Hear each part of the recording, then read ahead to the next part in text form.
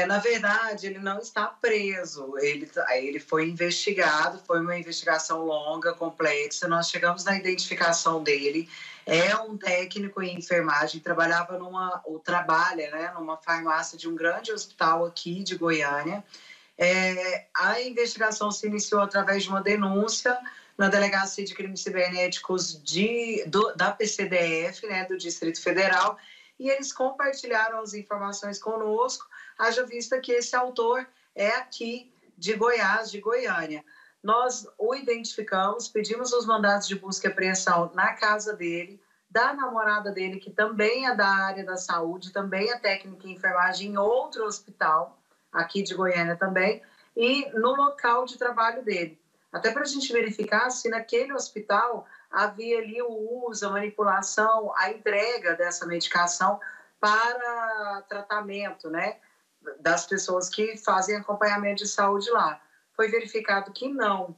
Então, as investigações agora elas continuam também no sentido de verificar a procedência, de onde vem essa medicação que ele amplamente comercializava através da internet. Ô, ô, doutora, a gente tem um lado que seria o crime cometido por este homem, porque é um absurdo, né? Fazer esse tipo de venda e ainda mais a pessoa sendo da área da saúde, porque sabe que acaba com muitas vidinhas ali dentro, né? Dentro das mulheres, na barriga das mulheres. Agora, por outro lado, a senhora chegou ali a essas pessoas que faziam a compra? Existe alguma punição para elas? Existe também, porque tem o crime de aborto doloso, né? Que é previsto no Código Penal no entanto, todas essas mulheres, a, a, é, através da, dos indícios que constam na, na investigação, são de outros estados. Então, como que nós agimos agora? A gente extrai cópia dessa investigação, nós remetemos para cada estado para que a Polícia Civil local investigue aquelas mulheres também.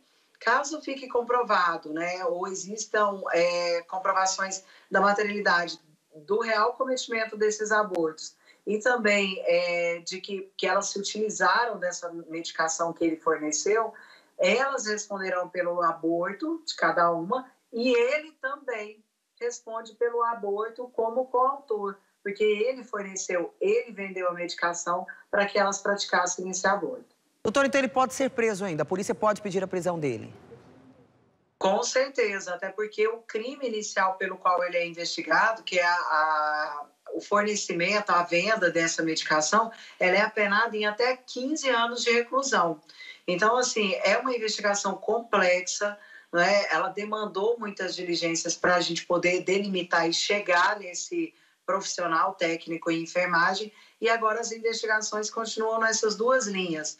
Um, quem eram os comparsas, de onde ele buscava né, o fornecimento dessa medicação. E dois, a identificação e comprovação da, do resultado aborto que cada uma dessas mulheres é, teria cometido.